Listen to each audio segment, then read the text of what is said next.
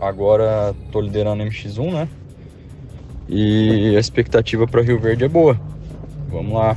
Apesar de eu não ter conseguido treinar muito nos últimos dias por causa do trabalho, que tá bem corrido. É... Vamos lá, tentar andar bem, se divertir, né? Que é o principal motivo de a gente andar de moto.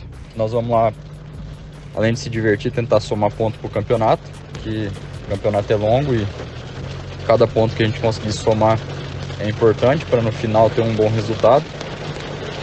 É, ano passado consegui ganhar algumas corridas da MX1, da MX2. Paraíso das Águas ganhei MX1, fiquei em segundo na MX2.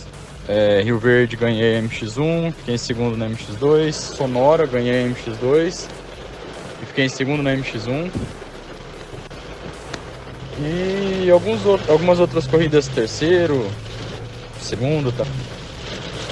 E e esse ano, a primeira etapa, ganhei a MX2 e fiquei em segundo na MX1, mas o cara que ganhou a MX1 é de outro, estado, de outro, de outro estado, ele não pontua, por isso que a gente está liderando, né?